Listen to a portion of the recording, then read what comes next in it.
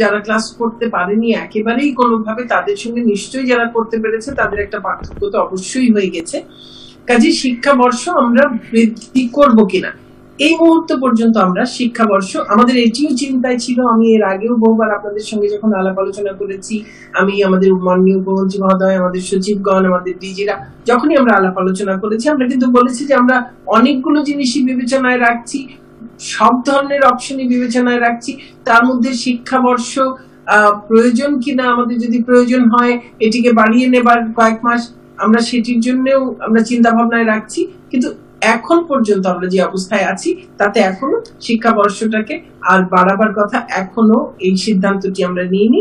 আমরা এবার এই যে পদ্ধতিতে আমরা যাচ্ছি, এই পদ্ধতিতেই যাব। কাজে জানুয়ারি থেকে নতুন ক্লাসে তারা যাবে, এটি এখন পর্যন্ত ধরে নিয়েই আমরা এগোচ্ছি।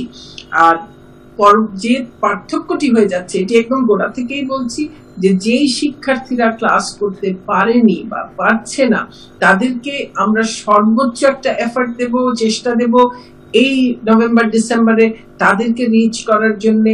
কমিউনিটির মধ্যে শিক্ষকদের ছোট ছোট গ্রুপ করে তাদের কাছে পৌঁছে যাওয়া, তাদেরকে পড়ানো, সেই চেষ্টাগুলোও আমরা করব। তারপরেও যদি তাদের সঙ্গে পার্থক্য থেকে যায় সেই পার্থক্যটি। এবং শুধু যারা ক্লাস করেনি তারা নয়, যারা ক্লাস করেছে তাদের মধ্যেও তো অনেকে হয়তো কিছুটা দুর্বল থাকবে, কিছুটা পিছিয়ে থাকবে।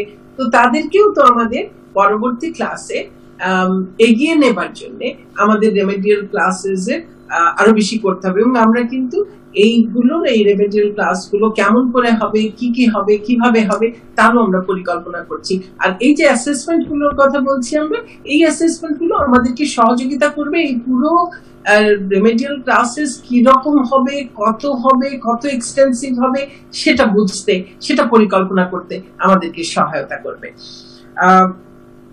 আপনারা বলেছেন যে আবার ওই একই প্রশ্ন হয়েছে যে পরীক্ষা হবে কিনা, মূল্যায়ন কীভাবে হবে?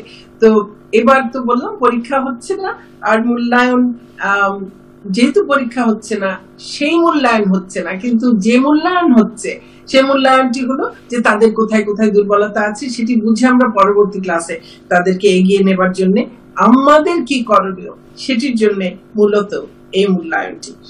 আহ কালের কণ্ঠে সুমন বলেছেন যে কিছু কিছু শিক্ষা প্রতিষ্ঠান তারা পরীক্ষা নিচ্ছে।